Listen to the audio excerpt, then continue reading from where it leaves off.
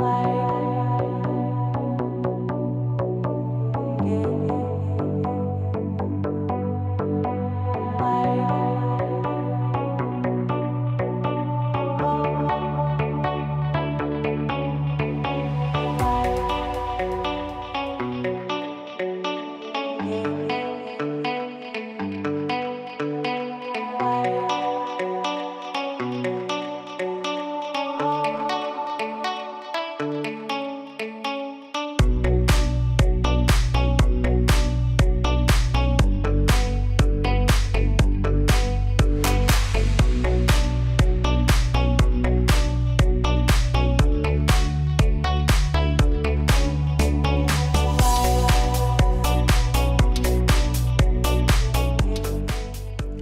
Hi, I'm Dave Scadden.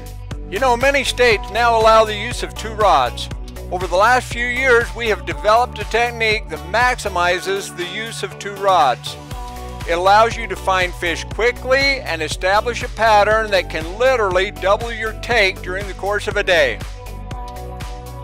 My favorite technique is to use one rod set up with a balanced leech pattern and a strike indicator. My other rod is rigged with a Type 2 uniform sink line if I am fishing leeches and woolly buggers or a 250 grain steelhead taper if I am fishing streamers. I cast my balanced leech pattern 60 to 80 feet in front of me. I then drop my rod into my rod holder that has been positioned so the rod extends over my shoulder on the left side of my boat. Dropping your rod in the left rod holder keeps your right side free to cast. Drop your rod into the right side if you are left-handed. Now I begin a slow kick with my fins, keeping a close eye on the indicator for any indication of a strike. I then strip a 100 feet of fly line into my stripping apron. This allows for long, consistent, easy casts with my leech or streamer rod.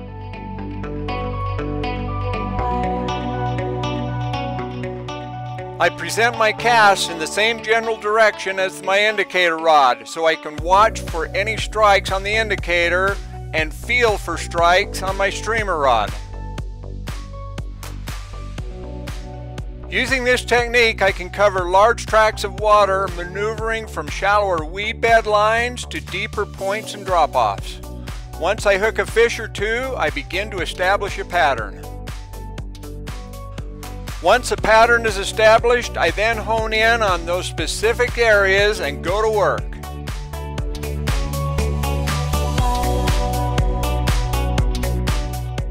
This technique has really paid off by cutting down on the trial and error process.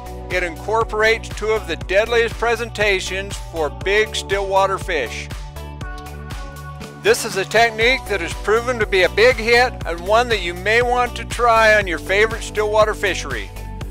This has been Dave Scadden wishing you great float trips and big fish.